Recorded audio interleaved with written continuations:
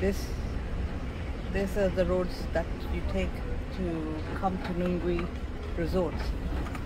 The whole area is full of dirt roads. You can't drive on them easily. Um, most people come with their tourist vans or whatever. Um, they charge the tourists a lot of money to take you on tours and everything.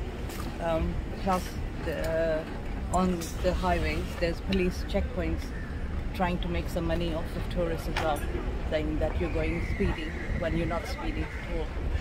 And um, want to try to take money off your fee.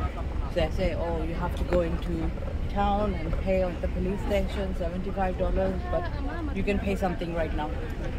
So we just uh, said we'll go to the police station, so he let us go.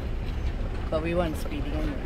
And this is the state of roads in Nungwi that goes to the beaches, which is supposed to be really good, but we haven't seen them yet.